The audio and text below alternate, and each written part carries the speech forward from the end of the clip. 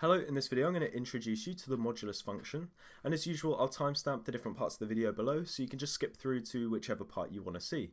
And we'll start off with what the modulus function actually is. So if we want to write down the modulus of x, where x is just going to be a number, we write it like this. We write a bar, then an x, and then another bar. Okay, And the way we would read this out is the modulus of x. And you might also hear it called the absolute value of x, but in this video we're just going to be talking about the modulus of x.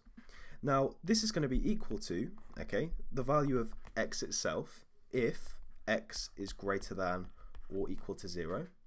And it's going to be equal to negative x if x is strictly less than 0. So let's see what this function is actually doing in practice. And so say I want to find the value of the modulus of negative 3. Well, negative 3 is strictly less than 0.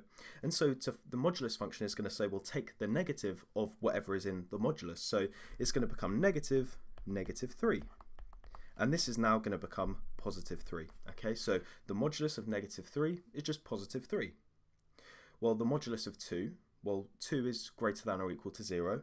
And so it just outputs 2. So the modulus of 2 is 2. The modulus of negative 400, well 400 is strictly less than 0, and so I calculate negative negative 400, so negative negative 400, and that's just going to output positive 400. So hopefully you can see the modulus function, okay, is taking any negative value and just turning it positive. And if it's already positive, then it just keeps it as it is. So that's the modulus function. And in the next video, we're going to be taking a look at modulus graphs, okay? And just to give you an idea of what they look like, let's take a look at this example here. So we want to sketch the graph of y equals the absolute value of x, or modulus x. So I've got a little table just over here.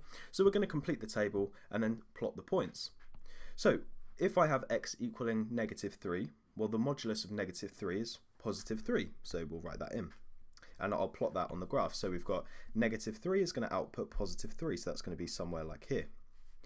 If I have x equaling negative 2, then my modulus of x is going to output positive 2, so that's going to be a positive 2, and I'll sketch that point on.